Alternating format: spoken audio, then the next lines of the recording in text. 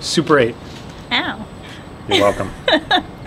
Super 8 is only like the greatest trailer out there right now. I love it. I think it's really pretty, and I like that it doesn't really tell you the entire plot of the movie. what was pretty about it? It didn't show anything. And it, of course it didn't give away. was really pretty. I really liked it. And of course it didn't give away the entire plot. It didn't give away anything. That's what I like about it. No, it, it just showed a box getting broken open. Well, you know that it has something to do with aliens.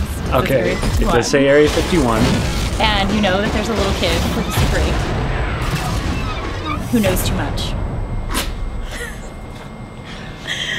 I just like Steven Spielberg. I I love. I, I trust. Here's that's the deal. That's what. I like about it. I'm and not that saying. too. Yeah, and He did- produced it. Right. I guess that's another reason I'm a little skeptical. Is like we all saw Cloverfield, right? Yeah. You know, I some liked it, some didn't, but whatever. I, I dug hated it. But we already saw it. This, okay, an alien movie about a kid with a handheld.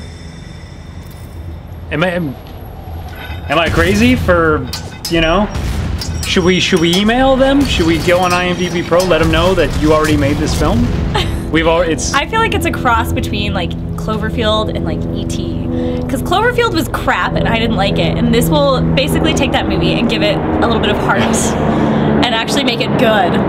That's what I feel.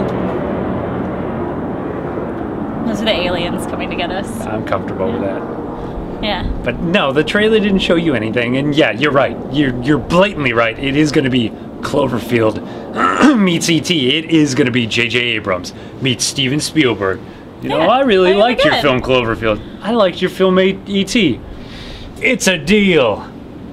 You know, you're not gonna shake my hand. No, I don't agree. I think it's gonna be good. I think the trailer is very Team up. suspenseful. No. That's what that's what it was. I just think I'm over it already, and it hasn't even come out. And I'm just I'll over it. it. 'cause I'm lost. And I'm sure it's going to be fantastically made and blah blah blah blah blah. But I'm over It'll it. Will be good, and then I'll laugh at you. fine. That's Deal. fair.